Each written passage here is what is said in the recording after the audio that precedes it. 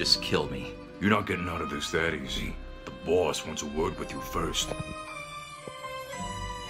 You think you can come into my territory and take what's mine? What?